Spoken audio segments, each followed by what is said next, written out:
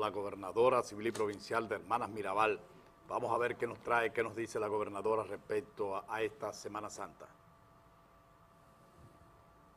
Saludos. Saludos, Robinson.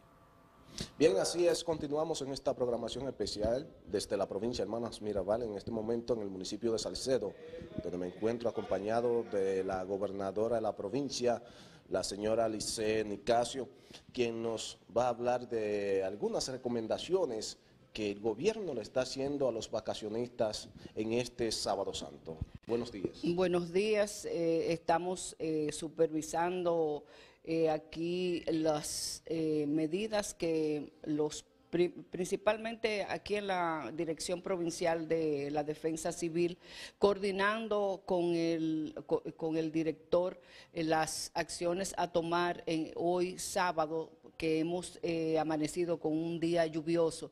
Y ahora nos vamos a trasladar de manera eh, conjunta con la Policía Nacional, el Ejército, hacia la parte alta para ver cuál es la situación en cuanto al río se refiere y cualquier medida tomarla de inmediato para prevenir cualquier eh, víctima que se pueda ocasionar que a veces la imprudencia de las personas eh, se, no quieren acatar las medidas porque hoy es un día lluvioso y los ríos, vamos a ver cuál es la situación para si en un momento determinado pues se determina cerrarlo, pues lo cerraríamos. Hasta ahora todas las medidas eh, se han cumplido en el orden de los puntos que la defensa, el ejército y la policía tienen en las carreteras, eh, así como como también el, los, el Servicio Nacional de Salud, pues ya el personal médico lo tenemos en la zona alta, médicos y enfermeras,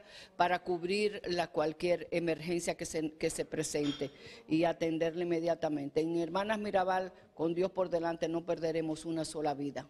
Bien, escucharon ustedes la gobernadora de la provincia, Hermanas Mirabal, la señora Lice Nicasio, quien recomienda además a las personas que tengan prudencia en este sábado santo y en todo el asueto de la Semana Mayor aquí en la provincia Hermanas Mirabal. Seguimos en esta programación especial, información y prevención de costa a costa, Semana Santa Telenor 2024.